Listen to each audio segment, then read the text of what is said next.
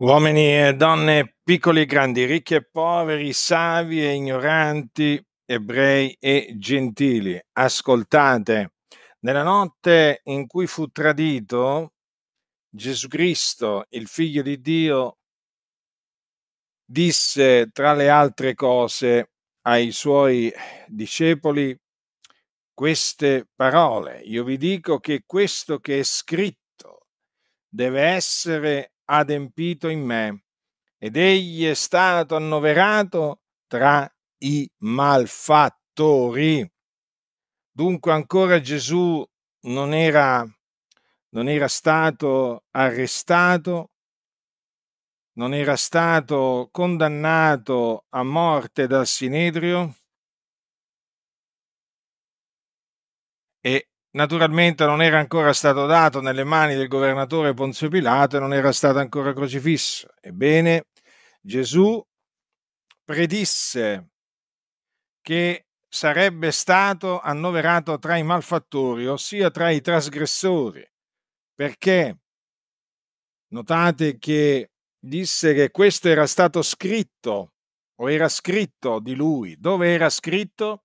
Era scritto nel profeta Isaia nel libro del profeta Isaia, infatti, il Dio dice, io gli darò la sua parte fra i grandi ed egli dividerà il bottino coi potenti perché ha dato se stesso alla morte ed è stato annoverato fra i trasgressori perché egli ha portato i peccati di molti ed ha interceduto per i trasgressori. E così avvenne perché quando il governatore Ponzio Pilato, il governatore della Giudea, sentenziò che fosse fatto quello che i giudei domandavano, cioè che Gesù Cristo fosse crocifisso, avvenne che lo menarono in un luogo a Gerusalemme che si chiama Golgota e là lo crocifissero in mezzo a due ladroni, uno alla sua destra e uno alla sua sinistra. Dunque il giusto, colui che non aveva conosciuto peccato, il quale fu tentato in ogni cosa come noi, però senza peccare, dico colui che non ha conosciuto peccato, fu trattato come se avesse fatto l'opera dei malfattori. Fu crocifisso come un malfattore, eh? come se fosse stato un eh, comune malfattore di quel tempo. Infatti fu messo in croce tra due ladroni. Considerate un po' voi quando Gesù morì che cosa avvenne. E quindi si dovevano adempiere le parole del profeta Isaia. Naturalmente non solo queste, queste parole, perché Gesù doveva appunto essere crocifisso, trafitto, perché così aveva detto sempre il profeta Isaia. Egli è stato trafitto a motivo delle nostre trasgressioni, fiaccato a motivo delle nostre iniquità. Quindi quella sentenza che emise Ponzio Pilato contro Gesù Cristo era una sentenza che era in accordo con la volontà di Dio, perché Dio così aveva innanzi decretato che avvenisse, cioè che Gesù, il Cristo, doveva essere trafitto, fiaccato quindi crocifisso. Per quale ragione? A motivo delle nostre trasgressioni. Infatti Gesù Cristo morì sulla croce per i nostri peccati. Molti presentano la morte di, eh, di Gesù come una morte casuale o come una, la morte di un martire, Addirittura c'è chi presenta Gesù come un rivoluzionario che voleva liberare il popolo di Israele dal gioco dei romani e naturalmente ciò gli costò la vita. No, non è così, come dicono i bugiardi, no? E come dice la Sacra Scrittura, noi crediamo alla Sacra Scrittura che è la parola di Dio. Egli è stato trafitto a motivo delle nostre trasgressioni, fiaccato a motivo delle nostre iniquità, che tutti lo sentano forte e chiaro, perché questo è quello che dice l'Evangelo di Cristo Gesù. Quindi Cristo è morto per i nostri peccati secondo le Scritture, affinché si adempissero le Scritture profetiche. Egli, il giusto, si caricò delle nostre iniquità e portò i nostri peccati nel suo corpo sul legno della croce. Sì, i nostri peccati, egli li portò nel suo corpo. La sua morte dunque fu una morte espiatoria, perché egli sparse il suo prezioso sangue per la remissione dei nostri peccati. Questo crediamo, questo proclamiamo con ogni franchezza. E dopo essere, eh, dopo essere morto per i nostri peccati, Gesù fu seppellito, messo, fu messo in una tomba nuova nella quale nessun uomo era ancora stato posto. Uomo, questa tomba l'aveva fatta scavare nella roccia un uomo ricco di nome Giuseppe d'Arimatea, che era un discepolo occulto di Gesù per timore dei giudei. Ma e Dio lo risuscitò dai morti il terzo giorno. E anche qui secondo le scritture, cioè affinché si adempissero le scritture profetiche. Infatti il Signore aveva preannunciato che il suo Cristo sarebbe risuscitato dai morti,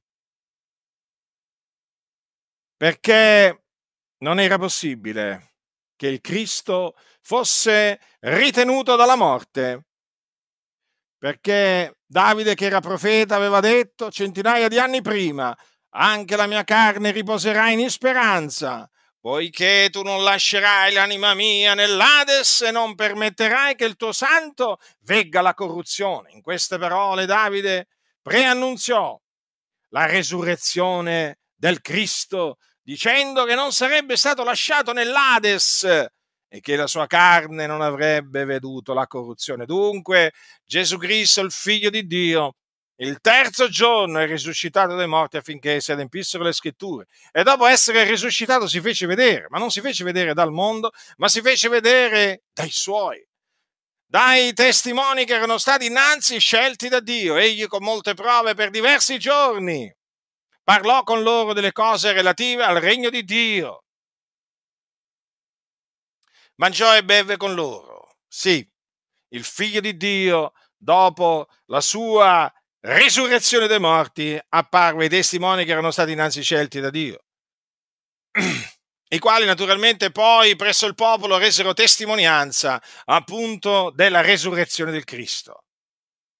E dunque quello che vi annunzio è l'Evangelo di Cristo affinché vi ravvediate e crediate nell'Evangelo per ottenere che cosa? Che cosa ne avrà l'uomo credendo nell'Evangelo? Beh, avrà beni preziosi ah, di grandissimo valore. Credendo nell'Evangelo, infatti, l'uomo viene salvato dai suoi peccati, cioè liberato dai suoi peccati. L'uomo infatti è schiavo del peccato perché chi commette il peccato è schiavo del peccato, ma credendo nell'Evangelo viene liberato dai suoi peccati. Infatti l'Evangelo è potenza di Dio per la salvezza d'ogni credente, del giudeo prima e poi del greco. L'uomo credendo nell'Evangelo viene giustificato, questo perché il giusto vivrà per la sua fede. E difatti nell'Evangelo è rivelata la giustizia di Dio, da fede a fede secondo che è scritto, ma il giusto vivrà per fede. Sì, la giustizia di Dio che rende l'uomo giusto è rivelata nell'Evangelo che vi ho annunziato. L'uomo credendo nell'Evangelo viene riconciliato con Dio, ottiene la riconciliazione con Dio, da nemico di Dio diventa amico di Dio, questo per mezzo di Cristo Gesù, il figlio di Dio. Poi ottiene, credendo nell'Evangelo, l'uomo la remissione dei peccati. I peccati sono dei debiti. costituiscono dei debiti che l'uomo accumula davanti a Dio, perché l'uomo pecca. E allora, credendo nell'Evangelo, l'uomo ottiene la cancellazione di tutti questi debiti. E il Signore lo purifica dai peccati. E poi credendo nell'Evangelo l'uomo, perché la scrittura dice di lui attestano tutti i profeti, che chiunque crede in lui riceve la remissione dei peccati mediante il suo nome. Ricordatevelo sempre questo, cattolici romani, eh? a voi mi rivolgo. La remissione dei peccati non si ottiene andando a confessarsi da un prete o da un vescovo o dal cosiddetto Papa stesso. No, la remissione dei peccati si ottiene credendo nel Signore Gesù Cristo. E quindi la remissione dei peccati si ottiene per grazia, non per opere, non per, mortifica- per mortificazioni varie, meriti vari, no, no, no, no. Si ottiene per grazia, interamente per grazia, tutto si, inter- si ottiene interamente per grazia quando si crede nell'Evangelo. E appunto, credendo nell'Evangelo, l'uomo ottiene anche la vita eterna. Perché dice la scrittura, chi crede ha vita eterna. E questa vita è nel figliolo di Dio, per cui chi ha il figliolo ha la vita. Chi ha il figliolo ha la vita, perché lui è la vita eterna. Sì, vi annunzio la vita eterna. Gesù Cristo. La vita eterna che era presso il Padre e che ci fu manifestata, dice Giovanni. E dunque, credendo nell'Evangelo, l'uomo ottiene anche la vita eterna. Considerate un po' il dono di Dio. Sì, perché la vita eterna è il dono di Dio, non è una paga, non è un premio, è il dono di Dio. Qualcuno dirà: Ma com'è possibile che credendo nell'Evangelo si ottengano tutte queste cose? Perché Dio ha stabilito così. Quindi, se rifiuterai di credere nell'Evangelo, sappi che l'ira di Dio continuerà a rimanere sopra di te e tu non vedrai la vita. Quando morirai te ne andrai nelle fiamme dell'inferno. Non ci sarà scampo, non ci sarà speranza alcuna per te di salvezza, perché hai rifiutato di credere nell'Evangelo della grazia di Dio che ti ho annunziato. Per la grazia di Dio, perché anche quella di annunziarvi l'Evangelo è una grazia che io ho ricevuto. Dunque, voi che mi ascoltate, ravvedetevi, credete nell'Evangelo Credete nell'Evangelo. L'Evangelo non è una favola, non è una storiella, non è un mito, non è, non è una leggenda. L'Evangelo è la parola di Dio vivente e permanente. Considerate questo. Quindi badate a tutti quelli che vogliono tenervi lontani dall'Evangelo o vogliono allontanarvi dall'Evangelo. L'Evangelo è la parola di Dio ed è potenza di Dio per la salvezza di ogni credente. Sì, è una parola, però è potenza di Dio. Molti sono scandalizzati nel sentire l'Evangelo, molti si indignano nel sentire l'Evangelo.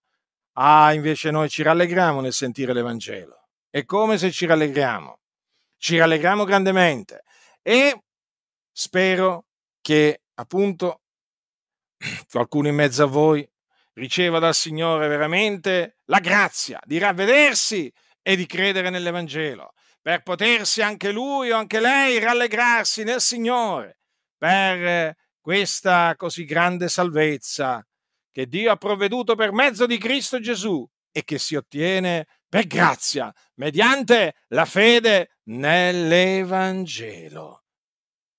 Chi ha orecchi da udire, oda.